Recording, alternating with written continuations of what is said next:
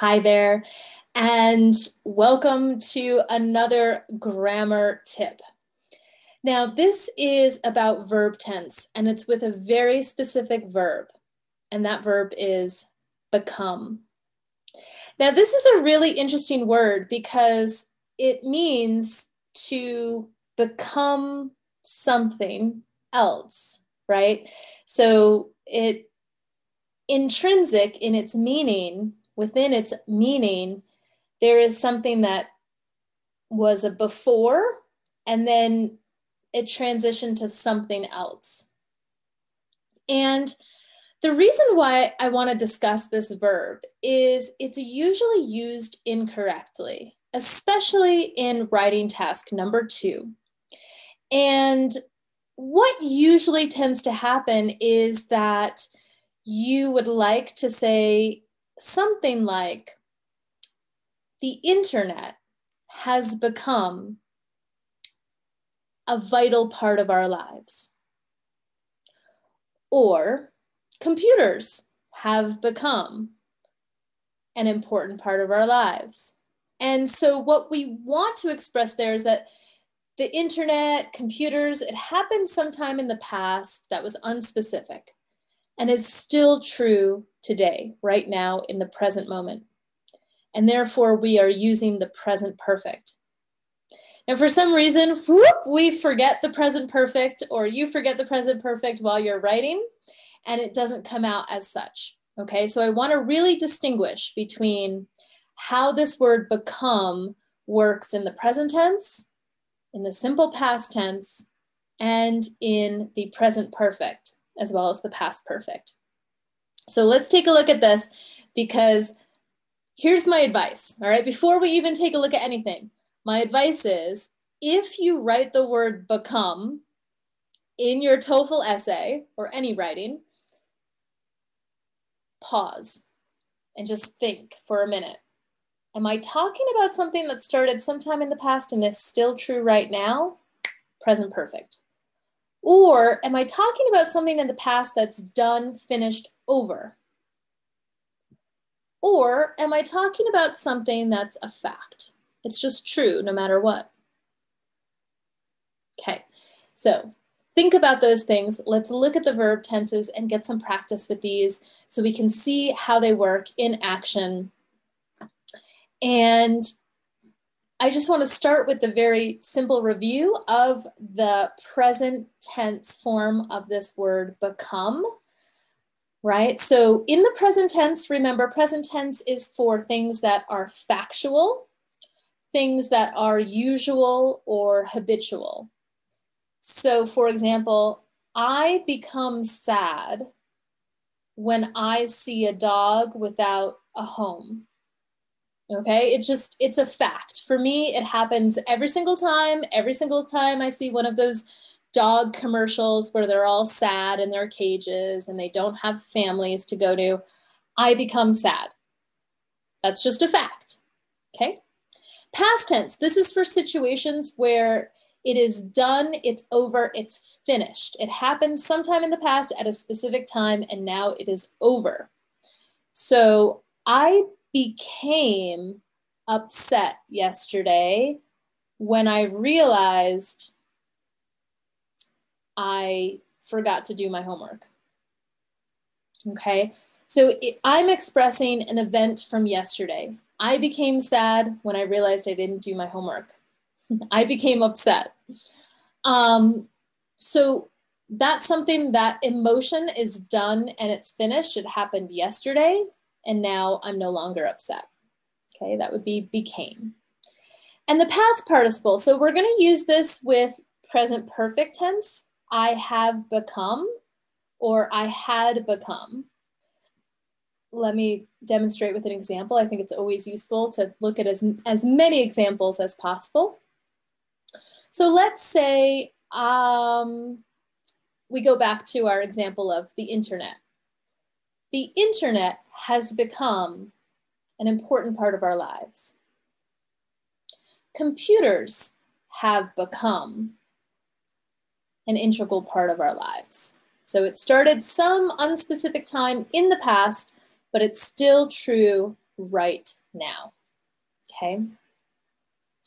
So let's move on and see a little bit more of how this works through some examples. So tell me what tense this is. When she is happy, got the present tense, right? When she is happy, her blue eyes become green. It's just a fact. This is usually what happens to her. On January 1st, 1999. Oh, this is a date in the past. So notice this simple past tense. She became my best friend. It's done, it's over, it happened on this date. Number three, we have become lazier with the advent of technology. Now, most of the time when you write become, you want to express in the present perfect tense, have become. Okay, it's just, it's probably your situation on the TOEFL. Okay, is what I'm saying. And notice have become, that's the present perfect. In number four, we're going to see an example of the past perfect. He promised to meet me at 6 p.m. By the time 7 p.m. rolled around, it had become clear to me that he wasn't coming. Okay, so it's this sentence in particular, and I just want to break it up into two parts, okay, so that we can understand. I'm not going to eh, talk a lot about the past perfect tense. We don't use it all that much, quite honestly, but in certain situations, we use the past perfect. And that situation would be we have two events that are in the past. So here is one event in the past, and here is the other event in the past. So two events in the past. And the one that comes first, the first event, okay, is going to get the past perfect usage, okay, had become clear. So it was really before seven o'clock, okay? If I were looking at a timeline, uh, you know, 6 p.m., he's not there, he's not there, he's not there, he's not there. And by the time, by that time, 7 p.m. rolled around, meaning, okay, not there.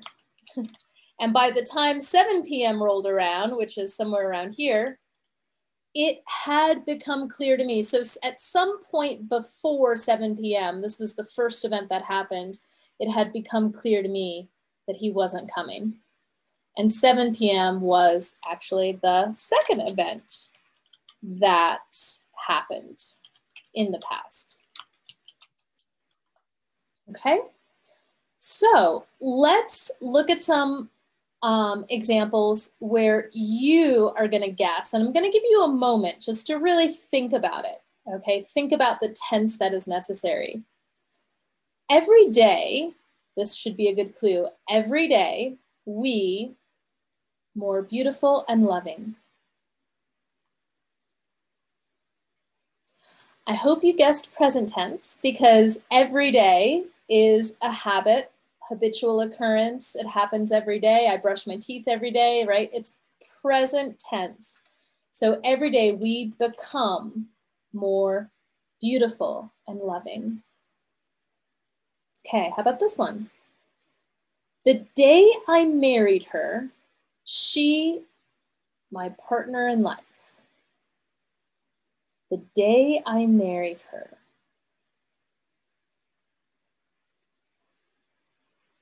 Well, this is in the past tense, right? The day I married her, it's some day in the past. Maybe it was last year, maybe it was last month, maybe it was 10, 20, 50 years ago, right? But we want the simple past tense. She became my partner in life.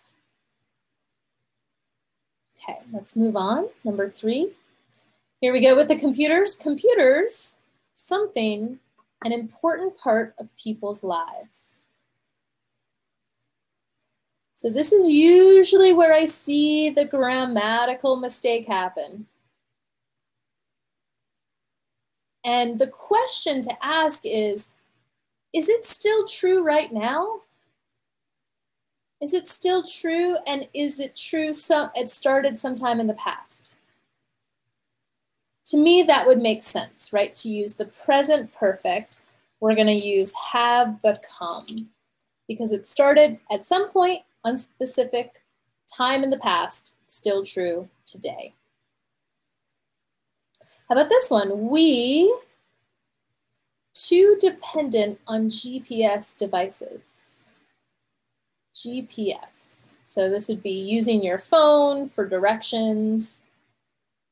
Do you think this is done and over, or do you think it's still true right now? I think it's still true right now, right?